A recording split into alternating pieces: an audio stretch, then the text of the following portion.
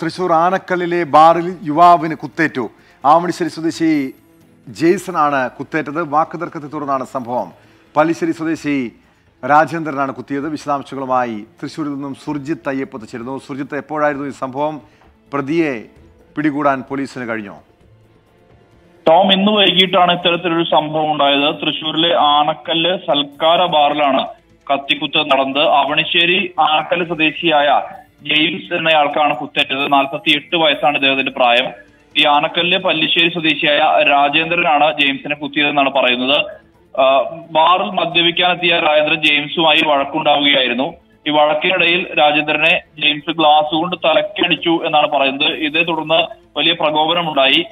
ഇതിനിടയിൽ ആനക്കലിൽ ആ സമീപത്ത് തന്നെ മീൻ വിൽപ്പന നടത്തിയിരുന്ന കടയുണ്ടായിരുന്നു. ആ കടയിലേക്ക് പോയി പോയി കത്തി എടുത്തു ജെയിംസിനെ കുത്തുകയായിരുന്നു രാജേന്ദ്രൻ.